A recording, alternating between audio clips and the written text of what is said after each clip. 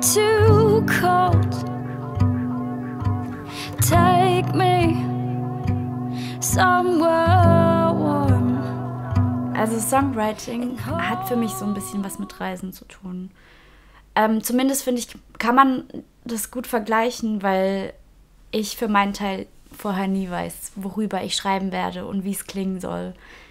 Ich mache einfach, probiere aus und ähm, so ist es ja auch beim Reisen.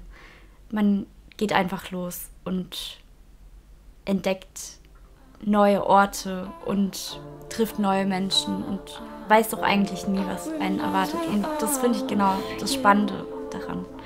Endless dusty roads, white heaven beaches, our names written in the sand.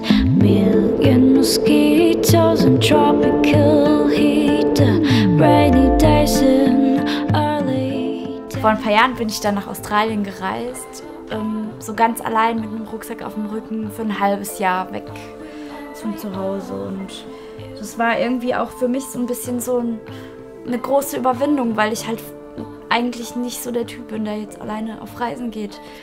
Und ähm, irgendwie war das auch gleichzeitig so der Wendepunkt, an dem ich mich entschieden habe, mich mal tatsächlich als Musikerin zu probieren. Wie weit kann ich damit kommen? Wie gut kann es werden? Und solche Dinge, die weiß man ja vorher nicht. Und das war so der Moment, in dem ich mir das vorgenommen habe. Zum ersten Mal.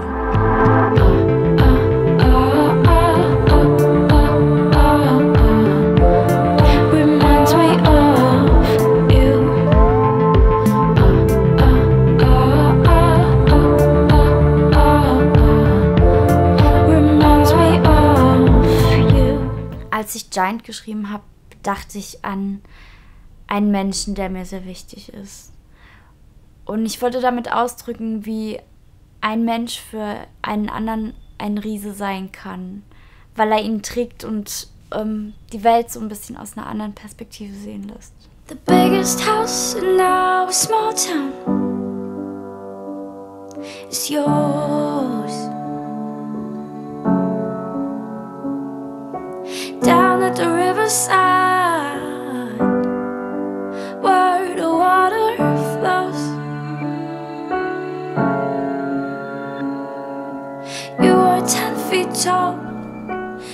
Ich wollte, dass das Album weit klingt, dass es, dass die Sounds ähm, wie großartige Landschaften klingen.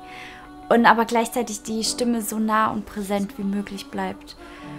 Und ähm, ja, weil die Texte auch sehr persönlich sind.